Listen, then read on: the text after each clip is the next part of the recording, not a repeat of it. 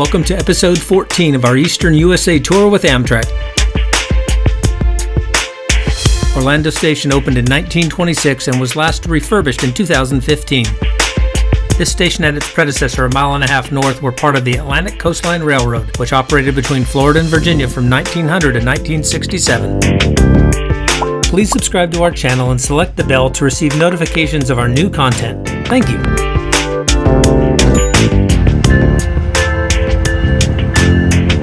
This station serves Amtrak as well as local train operator Sunrail.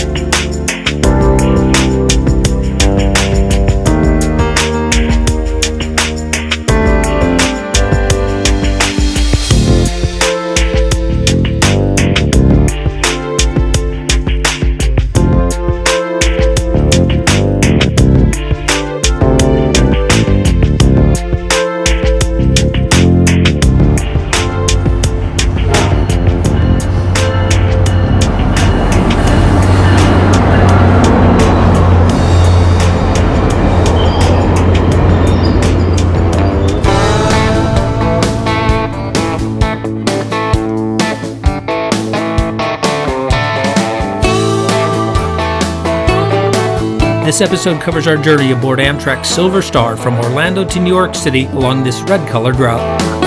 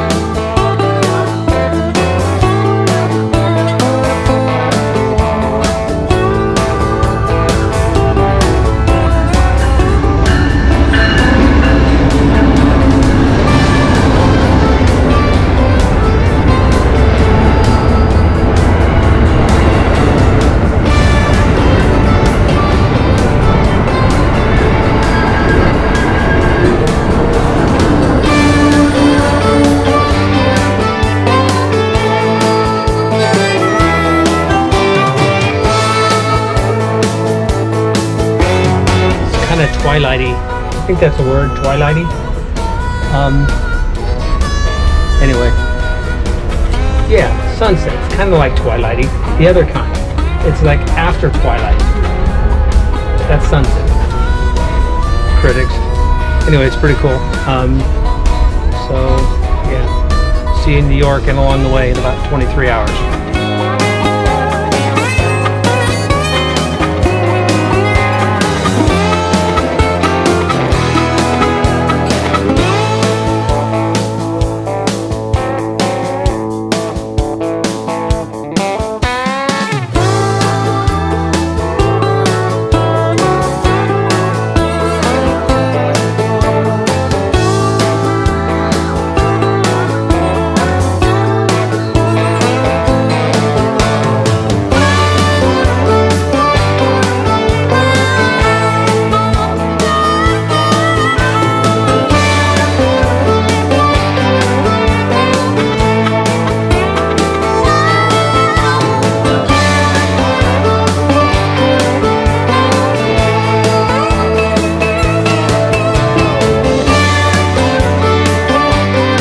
Our dinner really did consist of more than just wine and brownies, I promise. This train is a Viewliner, which unlike Amtrak Superliners is a single level train. The trade off is very welcome overhead storage.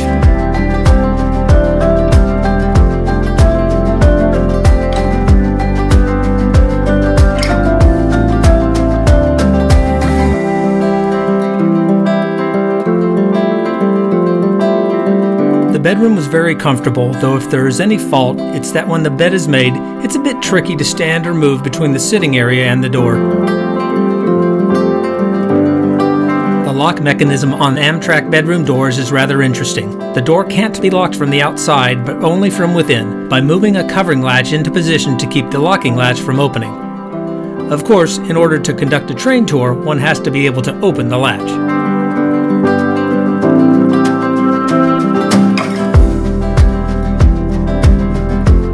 Typical Silver Star configuration consists of one to two engines, one baggage car, five coach cars like this with four already behind me, two sleeper cars, a separate diner, and a cafe car.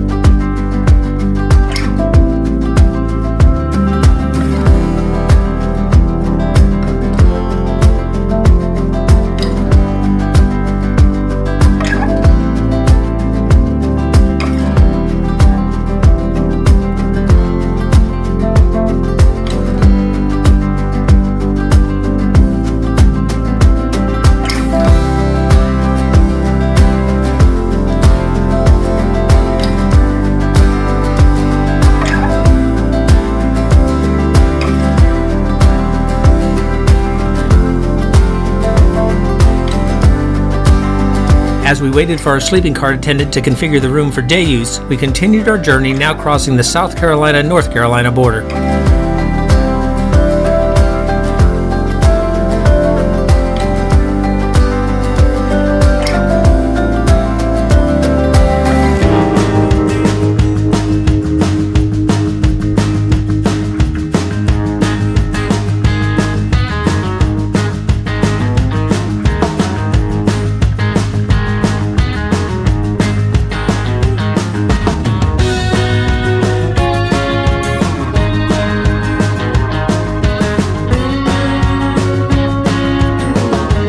Quite speeding through Hamlet, North Carolina, gives me the opportunity to point out that Melvin Ingram, linebacker for the San Diego Chargers, is from here, as was saxophonist John Coltrane.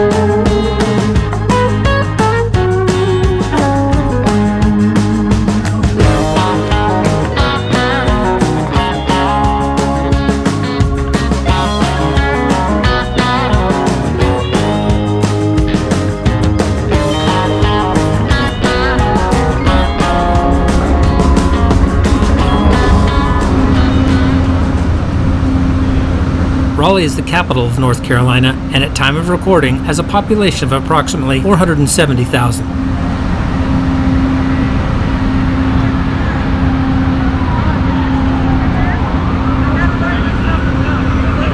thank mm -hmm. you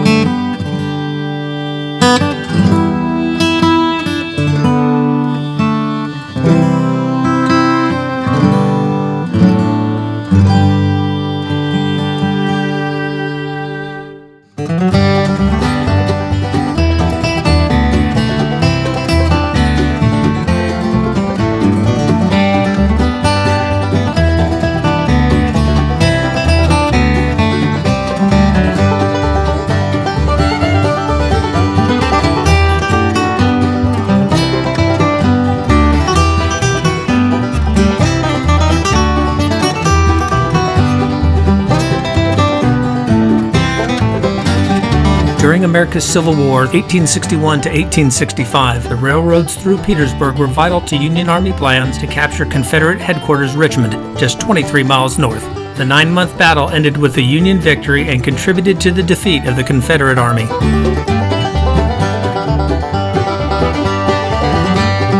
This station opened in 1955 and is technically just outside the city limits of Petersburg in Ettrick, Virginia.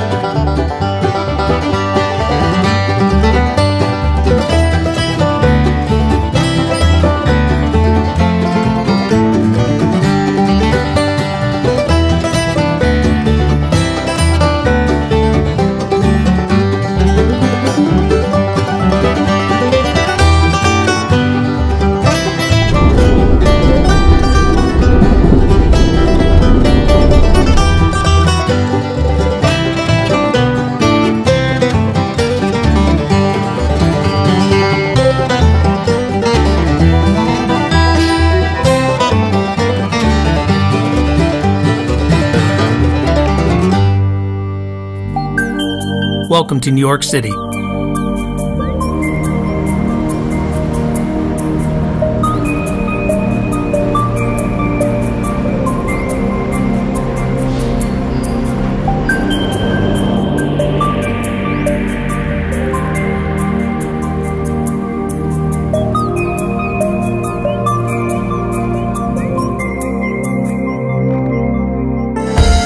Our hotel for the next four nights is the New Yorker just two blocks from Penn Station.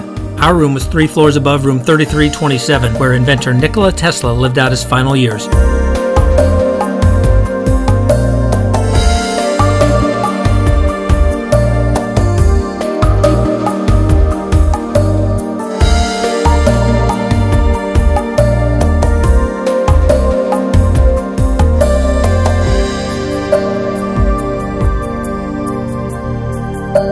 We stayed in the Queen Terrace suite with an amazing view of the New York City skyline.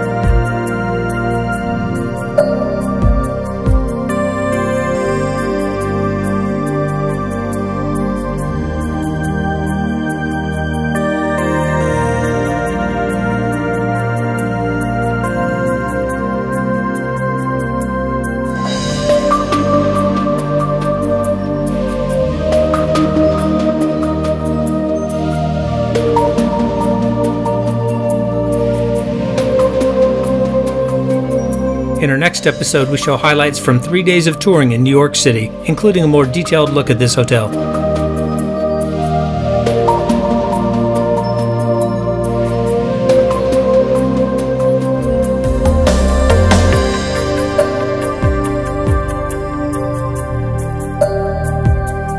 We hope you've enjoyed the trip from Orlando to New York City. Please give this video a like and consider subscribing. Thank you. While this town is a city that doesn't sleep, we need to, so good night from the 30th floor of the New Yorker. Thank you very much for watching.